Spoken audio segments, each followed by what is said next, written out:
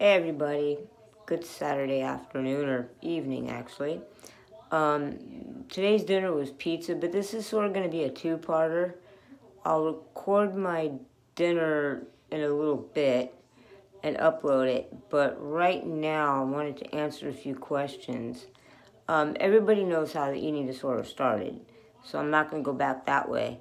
But it's for things I used to do and the work that I used to do. Um, I used to be a um, um, a process server. Um, I loved doing it. Um, it. it. was kind of fun, a little weird, but people got a little pissed. But you know, it's a job. Um, I did that, and I also uh, worked part time at a law office. You know, like delivering things, mail, um, you know, stuff like that.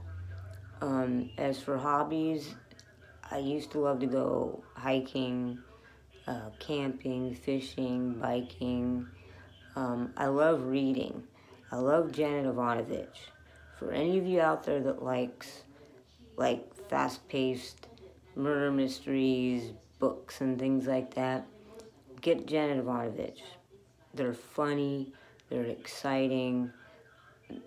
It, it, you'll love it, trust me. Um, that was really about it. You know, I did a lot of things outside.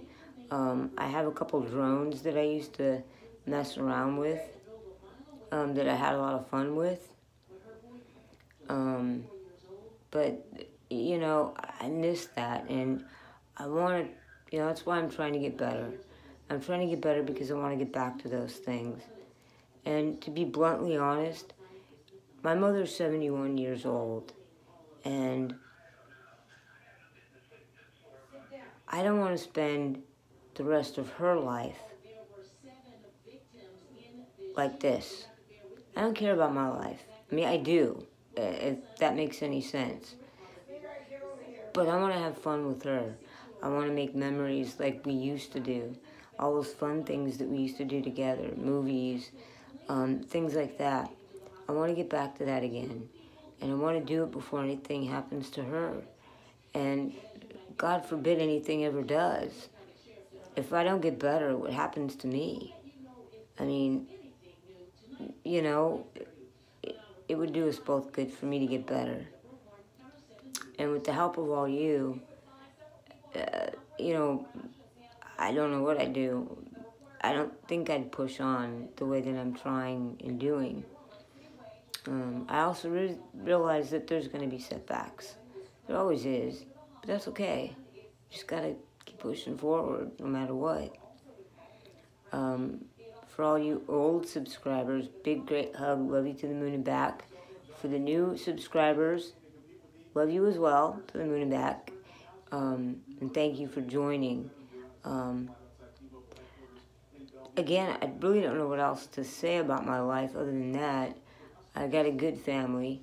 Um, they're spread around. Um, I'm in contact with my father. He lives in Sacramento. He's married to someone else. Um, we talk every day on Facebook.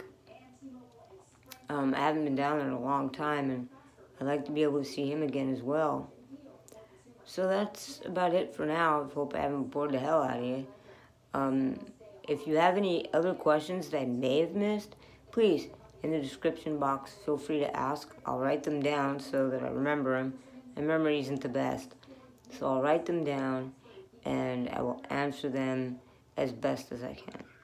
And, you know, feel free to ask anything, really. I, I'm open. I don't care. Um, I will talk to you later, and there will be a part two. So look forward to it.